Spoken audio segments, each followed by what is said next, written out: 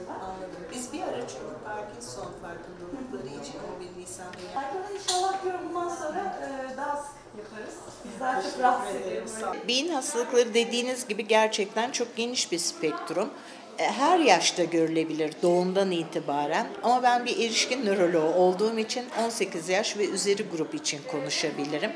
Beyin hastalıklarının işte baş ağrısından başlayalım inmelere ya da bizim dejeneratif hastalıklar dediğimiz Alzheimer hastalığı, Parkinson hastalığı gibi e, durumları en sık görmekteyiz. E, ama bunun dışında nadir başka durumlar da var. Tabii gene hem çocuk hem erişkinler için epilepsi grubu önemli bir grup. Kas hastalıkları var. Periferik sinir dediğimiz kol bacak sinirlerindeki aşınmayla giden ve hastalarda sakatlıklara yol açabilen durumlar var. Gerçekten çok çeşitli hastalıklar görüyoruz ama erişkin nörolojiye gelince özellikle de ileri yaş e, 50-60'lar üzerinde beyin damar hastalıkları ön planda karşımıza çıkıyor ve yine 60'lı yaşlar Alzheimer hastalığı, Parkinson hastalığı açısından da ilerleyen yaş olarak bir risk faktörü oluşturuyorlar. Yani aynen kalp hastalıklarında, kalp damar hastalıklarında olduğu gibi beyin damar hastalıklarında da risk faktörleri var. Bunların bir kısmı değiştirilemez faktörler, bir kısmı da modifiye edilebilir, değiştirilebilen faktörler. Değiştirilemeyenler neler? Yaş. Genetik, ailenizde çok damarsal hastalık varsa bunu değiştiremiyorsunuz. Ama de- değiştirebileceğiniz risk faktörleri sigara kullanımı, hipertansiyon, kon- tansiyonun kontrolü, şeker hastalığı, kolesterol yüksekliği bunlar değiştirebileceğiniz ve beyin damar hastalıklarından korunabileceğiniz unsurlar. Baş ağrıları bize gelen en sık hastalıklardan ve yani her yaş grubunu, burası dedim ya 18 yaş üzerine bakan bir e, grubuz biz. 18 yaştan çok ileri yaşlara kadar her yaşta başlayabilecek bir durum.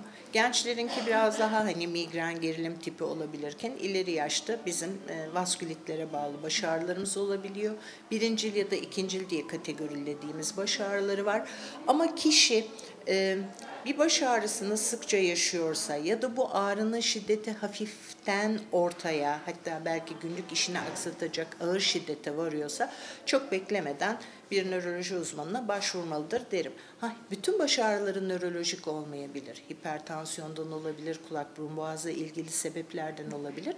Ama nörolog onu değerlendirdikten sonra uygun alana zaten sevk edecektir. Dünya Beyin Günü 2014'ten beri e, 22 Temmuz'da kutlanan e, bir gün. Yani bu aktivitenin amacı da aslında toplumda, toplumun ötesinde biraz da sağlık otoriteleri ve politikacılarda da bir farkındalık yaratmak ve konunun önemine, beyin sağlığına dikkat çekmek.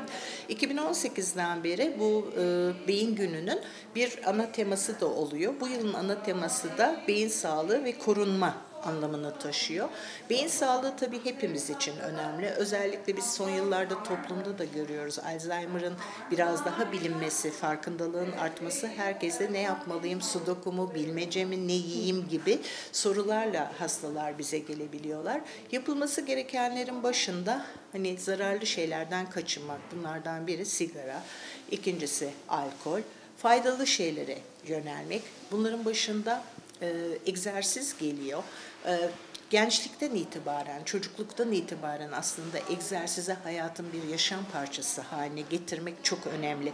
Ama gene de kimse için geç değil. Bugüne kadar çok egzersiz yapmayan insanların bile kendi bedenleri, performanslarına uygun bir fizik aktiviteyi yapmaları bir kere yani bu tür dejeneratif hastalıklara da beyin damar hastalıklarına karşı da koruyucu oluyor.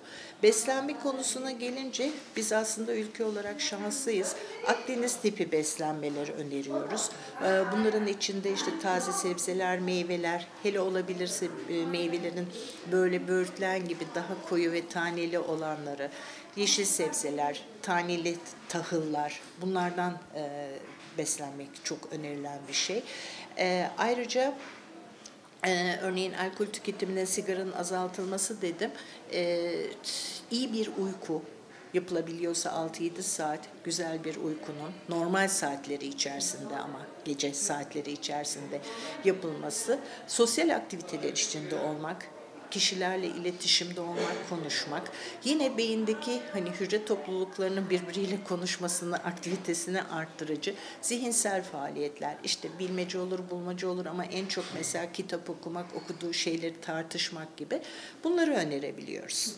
Şimdi genelde 60 yaş üzerinde yüzde bir, 80 yaş üstünde yüzde üç sıklıkta gibi bir e, oranı vardır Parkinson'un görülmesinin. Ülkemizde arttığını söylemek şöyle zor. Nüfusumuz ileri yaşa gidiyor. Yani daha uzun süre yaşayan insanlara olmaya başladık. Bu güzel bir şey. Uzun yaşadığımızda da yaşlılık periyodunun hastalıklarını daha fazla göreceğimiz bir gerçek.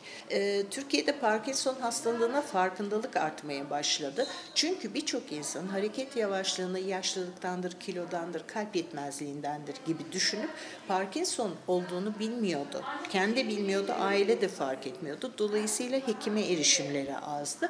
Oysa bugün hani hareketleri yavaş, bundan mıdır diye gelen hastalar olduğu için de e, biraz daha fazla Parkinson görüyoruz. Ama zaten hani şu an için bile verilen reçetede rakam söylemem zor yine ama verilen reçetelere baktığımızda nüfusu oranladığında beklediğimizin e, daha altında bir popülasyon hastanede takip halinde. Aslında sıklıkla 50-55 yaş üzerinde denir. Fakat bugün biliyoruz ki Parkinson her yaşta olabiliyor. Hatta 40 yaşından evvel de başlayabiliyor. Ve bu 40 yaşı öncesinde başlayan hastalarda daha çok genetik nedenler, kalıtsal sebepler düşünüyoruz. Genelde insanlar titreme olmadıkça Parkinson yok zannediyorlar. Oysa 4 hastadan birinde titreme olmuyor. Parkinson'da. Dolayısıyla harekette bir yavaşlık, işte mimiklerdeki bir azalma, hastanın günlük işlerinde örneğin banyo süresinin uzaması, yemek yeme süresinin uzaması, bir sandalyeye oturup kalkmasının yavaşlaması bu hem kendisinin hem de çevresindekilerin dikkatini çekmeli ve bir nöroloji görüşü almalılar. Yeni gelişmeler var. Kesin bir tedavi olmamakla birlikte tanı konduğunda ilaç başlıyoruz. Çünkü beyinde eksilen kimyasal e, nörotransmitter dediğimiz dopamin maddesini yerine koyduğumuzda hastalık hep hastalarıma derim dik bir yokuş inici daha ılımlı bir rampada seyredebiliyor. Bu nedenle uygun bir tedavi semptomatik de olsa hastayı biraz e, hem günlük aktivitede rahatlatıyor hem de hastalık gidişini biraz yumuşatıyor. Ama e, bilim e, ilerliyor ve hastaların olabildiğince erken hatta belirtiler başlamadan önce yakalanıp koruyucu tedavilerin başlanması böylelikle de e, durdurulabilmesi yönünde ciddi gelişmeler var. Bunlar birkaç yıl içerisinde bizim de pratiğimize yansıyacaktır. Parkinson tek bir mekanizmaya dayalı bir hastalık değil. Alzheimer da öyle. Bundan dolayı hani şu grup ilaç gelecektir demek zor. Mekanizmaları çok karmaşık olduğundan ama bu konuda iyi ilerlemeler olduğunu umuyorum ki hani ben değilse de daha genç arkadaşlarımın birkaç yıl içerisinde bu tedavileri uygulayabileceğini sanıyorum.